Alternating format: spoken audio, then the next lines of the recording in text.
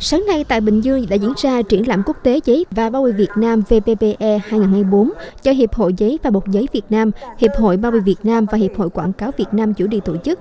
Với quy mô 250 gian hàng, triển lãm trưng bày đa dạng các sản phẩm gồm giấy và bột giấy, các loại bao bì, máy móc, thiết bị, công nghệ, hóa chất, vật tư, vật liệu ngành giấy, ngành bao bì của gần 500 thương hiệu đến từ các quốc gia và vùng lãnh thổ như Nhật Bản, Trung Quốc, Hàn Quốc, Ấn Độ, Thụy Điển, v.v.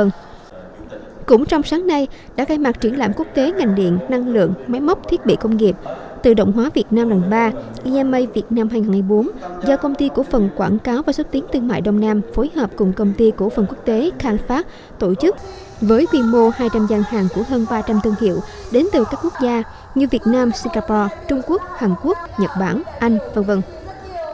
Diễn ra từ hôm nay đến ngày 10 tháng 5, hai triển lãm trên được tổ chức nhằm thúc đẩy hoạt động kết nối giao thương, chuyển giao công nghệ giữa các doanh nghiệp trong và ngoài nước. Đồng thời, khách tham quan được tìm hiểu trải nghiệm hàng loạt công nghệ tiên tiến hiện đại, các giải pháp chuyên ngành tối ưu để phục vụ cho nhu cầu sản xuất kinh doanh.